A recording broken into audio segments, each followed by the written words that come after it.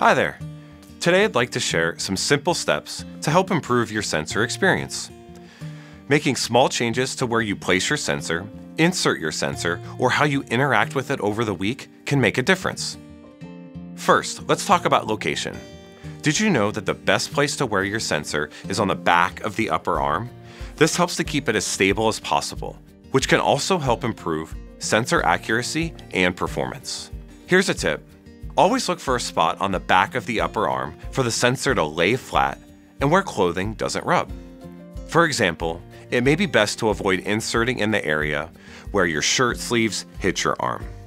Putting pressure on your sensor and transmitter is okay, but it's also good to stay clear of places where your body naturally bends or where you would push on the side of the transmitter.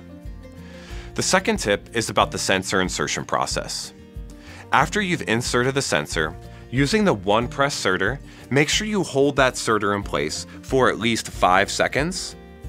This helps ensure that the adhesive has enough time to properly stick to the skin, which helps keep the sensor in place for that full sensor wear. The third tip is about taping. If you tend to sweat, consider using an additional adhesive wipe before you apply the sensor tape but after you insert the sensor. If that's not enough, you may also want to apply a piece of tape over the entire sensor and transmitter. Options are available through diabetes.shop, and keep in mind, you can choose to apply extra tape on day one or after a few days of wear if you start to notice the oval tape is lifting. On to the next tip, or more of a best practice. From time to time, the system may ask you for a blood sugar reading. When this happens, make sure to enter a blood sugar reading from your blood sugar meter. It's also important to wash your hands before testing your blood sugar.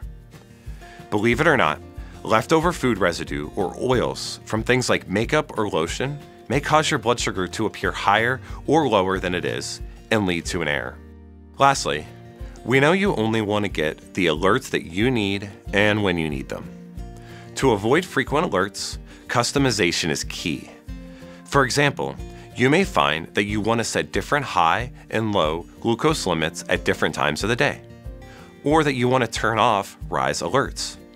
You can do this by going into the sensor settings in your pump. Also, did you know that you can silence some of your CGM alerts if needed? That's right. The alert silence feature is a great one to use when you're headed into an important meeting, a movie, or you're even about to take a nap.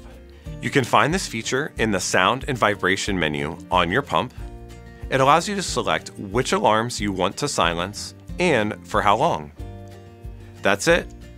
We hope these tips have been helpful, and if you need more help with your sensor, please check out the other videos on our YouTube page. Thanks for watching.